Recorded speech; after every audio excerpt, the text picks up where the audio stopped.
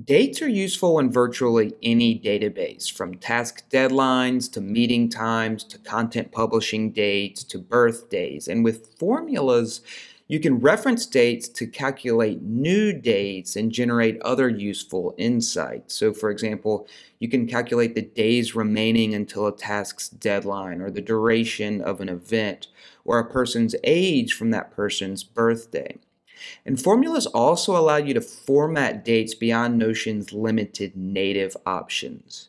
So let's explore the essential functions for working with dates in formulas. And if you haven't already, be sure to take a look at the Formula Fundamentals lesson first because many of those concepts will apply to this lesson.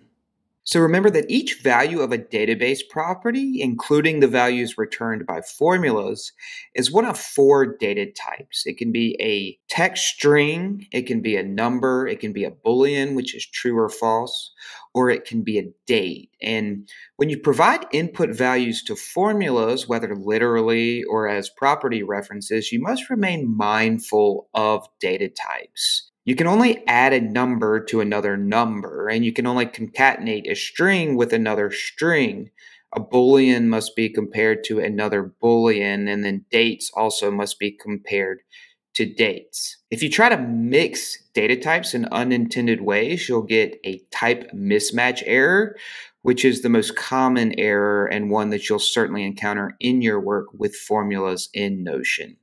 And then, moreover, the arguments of most functions must be a particular data type or at least matching data types. So the subtract function, for example, accepts two numbers, whereas the join function accepts strings. And then, as you'll see, the date subtract function takes a date followed by a number followed by a string. And unlike these other data types, dates can't be entered literally within a Notion formula. You have three different methods of providing a new date to a formula. And the most common is going to be just choosing a date within a date property, which you can then reference within a formula. But you also have the now function, which we'll take a look at here in just a second. And that's a commonly used method of generating a date. And then we also have the from timestamp function, which is really infrequently used. It accepts a number, which it converts to a date. If you're curious about that, I mentioned it briefly in the Formula Fundamentals lesson,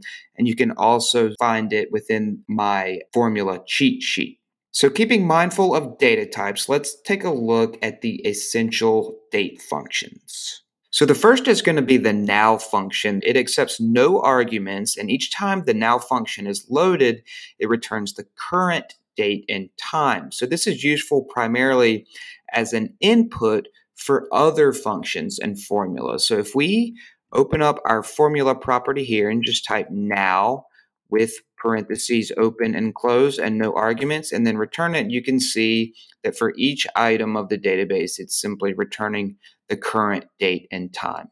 And then we have the start and end function. So when you choose a date within a date property, you have the opportunity to add an end date. And when you do that, it creates a date range. So what the start and end functions do is allow you to return just the starting date or the end date of that range. And that can be useful as a standalone value, such as the final deadline of a task or a project, or you can use it as an input for another formula. So within this deadline property here, we will return the last date of the date range. So that for both the start and end functions, they accept just one argument, and that's going to be the property containing the date range from which you want to pull the start or the end date. So in this case, that's going to be the dates property. So we'll enter that within the end function, close it out and submit. And you can see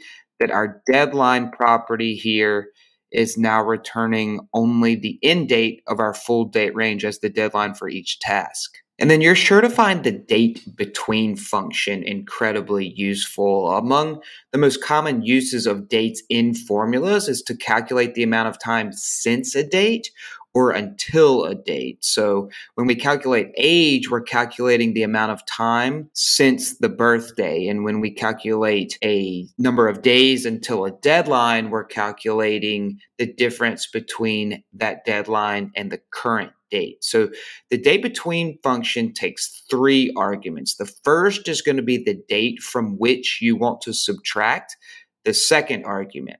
So the second argument is going to be the date to subtract from the first date.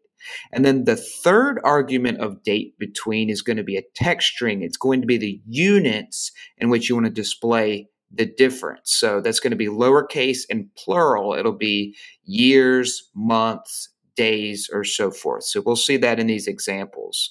To calculate age, what we'll do is we'll start our date between, open it up, and the first argument is going to be the date from which we want to subtract the second date. So in this case, we want to subtract the birthday from the current date. So we'll use the now function. And then the second argument is going to be the date to subtract from the first one. So this is going to be a reference to the birthday property. And then we want to return the result in years because we're talking about this person's age. So we'll enter years within a string, submit, so then in our tasks example, we want the days remaining until the future deadline. So in this case, we'll again start our date between, open it up, and the first date here is going to be the deadline property. So we'll reference that. And then the second one is going to be now because we want to subtract the current date and time from that future deadline. And then we want to display this result in days. And here we have the days remaining until each deadline. But you don't always have to use the now function. You can use any two dates as those first two arguments. So in the case of a date range, you can use the start and the end. So if we want to find the duration of each task here, or this could be a project, then we can use the date between function, open it up, and we'll use as the first argument the end of our date range. So we'll enter end and then we'll reference our dates property. And then for the second argument of date between, we want the start of our dates property. So we'll use our start function. And then we want to display the outcome of this in days. So we'll submit that and we have the duration of each date range here. And then the format date function is going to give you greater control over how you display your date. So when you choose a date within a date property, Notion gives you just a handful of options for how it's displayed. But with the format date function, you can display your dates in virtually any format that you might want. And the way that that works is that the first argument is going to be the date that you want to reformat. Typically, that'll be a reference to a date property. And then the second argument is a text string where you supply a format using the moment standard. And the moment standard offers virtually unlimited formatting options. And I'll link to a cheat sheet. But generally speaking, you can use Ys, Ms, and Ds in various combinations to specify how you want your date formatted. So two Ys, for example, will display a two digit version of the year, whereas four Ys will display it with all four digits. And then three Ms will display an abbreviated version of the month, four Ms will display the full month, and then two Ds will display a two digit version of the day, whereas one D will display just a single digit. So we'll reformat the birthday here by using the format date function, and then we'll reference the birthday property. And then for our format, we will enter four Ys with a dash, two M's, and then two D's. Close it out, and you can see here that our birthday is now formatted in a way that is friendly to sorting. This is a format that I use often. Lastly, we have the date add and date subtract functions, which will allow you to add or subtract time from a date. And the way that these work is they take three arguments. The first one is going to be the starting date. The second one is going to be a number, that number representing what you want to add or subtract. And then the third argument is a text string representing the units for that number. And that works the same way as the units for the date between function. It's lowercase and plural, such as days, years, or months. So the amount that you subtract can be a literal value that you input into the formula directly, or it can be a reference to another property for each item. So in the case of trips, for example, we can calculate the return date by adding the duration of the trip in days to the departure date. So we'll click into our formula window here and we'll start our date add function. And the first argument is going to be the starting date. We'll reference the departure date.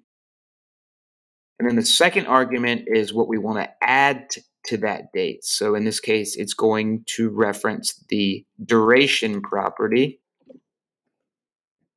And then the third argument is the units that apply to that number that we're adding. In this case, the duration represents days. So we will close that out, submit, and you can see that we now have our automated return date property.